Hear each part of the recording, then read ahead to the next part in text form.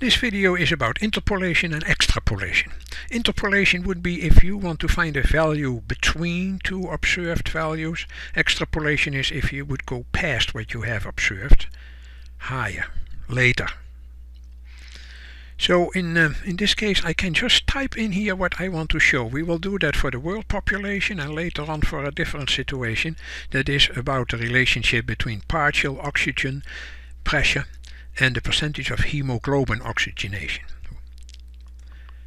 So here I can type whatever I want. Let's say in 2050, that is extrapolation, that would be the point. How did we calculate that? I will show you that here.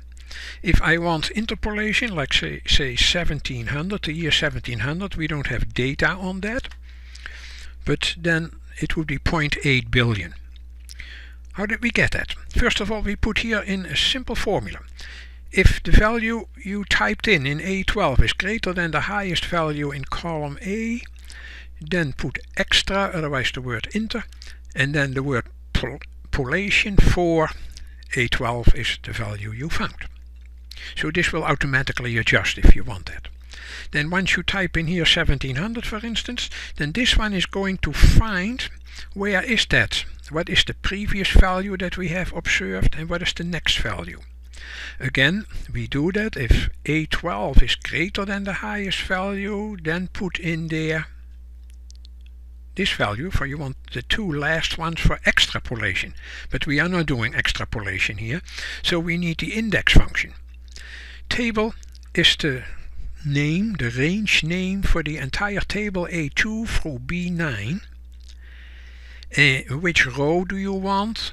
We use the match function to find the row number of A12 in the range name years, that is A2 through A9. The answer is in column 1. And then we want to find in the table the column number 1 in the row that was found by match. So this formula is clear. The next one is exactly the same, but we add plus 1 to the match function. Match, etc., etc., plus 1. That's the only difference. Then we have to find in the second column what the corresponding population size is. So we use again the if function, an index function based on table, the match function again based on A12, but this time found in years again, and in which column? In column 2 way at the end. The next one is exactly the same again, but we have to add plus 1 to the match function, the row number plus 1, one row further. It's clear that your table should be in an ascending order. Then finally we have to find what is that value between those two if there were a linear relationship between the two. We use the trend function that says we want to find A12 by checking in the y values b13 through b14, these two, find the corresponding ones there, and find A12 1700. That's all you need to do. So we get the two results here. But if we want to plot this in a graph, then we need three sets of coordinates. The first one starts at 0, assuming that all your x's start at 0. If not, then you have to adjust that 0. That should also be there. And the rest is simple. These two inherit from here. Those two inherit from there. So if I change this one into 2050, we will get a point that is much higher than what we have observed, that is extrapolation. How did we get this curve in here? I'm, I'm going to delete it for a moment to just show you how we did that. Uh, how you do this, I, I'm sure you know that. You have to start with your table. That now we are going to right click in there. We select the data. We add a new set of data based on three sets of coordinates. I'm not giving it a name. So these are my x values. Go to the y values. That's why we have to type them here. And you get this.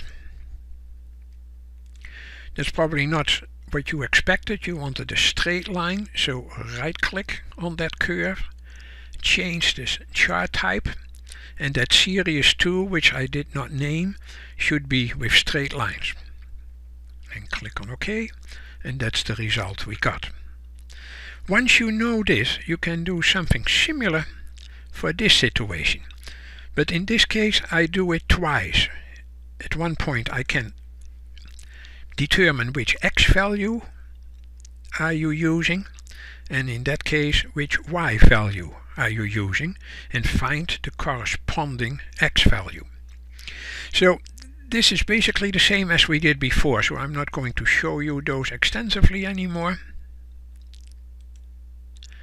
And of course you need based on those two sets you need a trend function. Then you put three sets of coordinates here. They make up for that curve but now we have to do the opposite we have to find how much would be the x value if this is the y value you are looking for so the formula here would be as follows. For 25 we find 10 and 20. 20 is the same row plus 1, the next available row. Then we find the corresponding value here with the index function.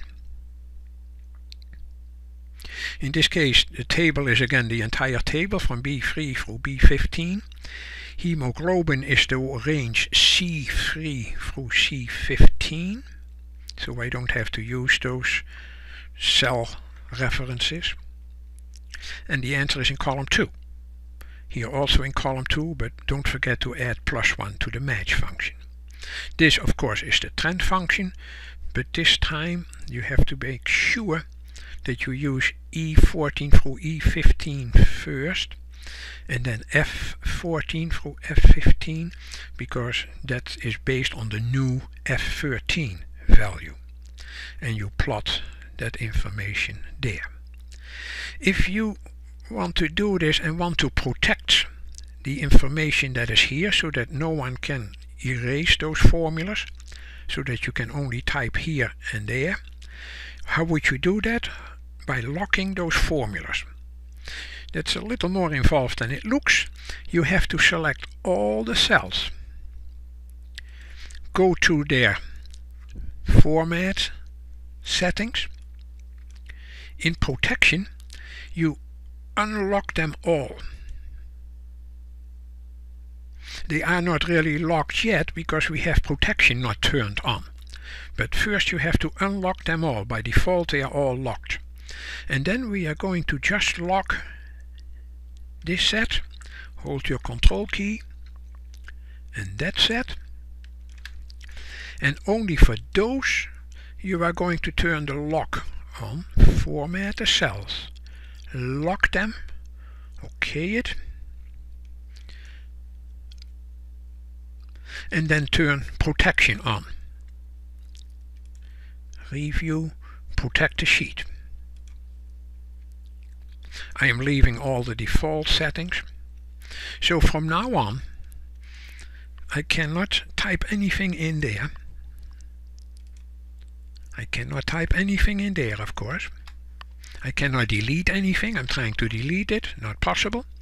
But I can still change this. I can say what would be the value if I went for 35 and everything will nicely update and it will find that spot. If I want to find what the situation would be for 40, I would find that.